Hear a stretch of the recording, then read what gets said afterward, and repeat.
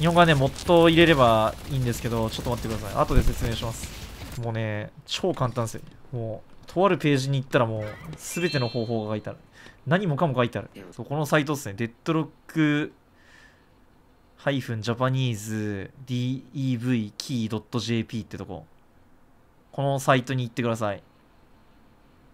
で、このサイト行って、ファイルをダウンロードして、この Program Files の中にある Steam Apps common、その下にある Deadlock っていうフォルダがあるんで、ここにゲームっていうフォルダがあるんですよ。なんでそこに上書き保存すればいいです。このインストールしたゲームっていうフォルダを。ただそれだけで日本語にできます。ちなみにめっちゃ簡単です。あ、そうだ、あともう一つごめん。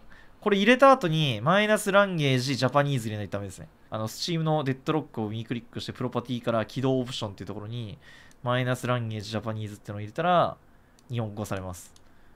マジで超簡単です。これだけ。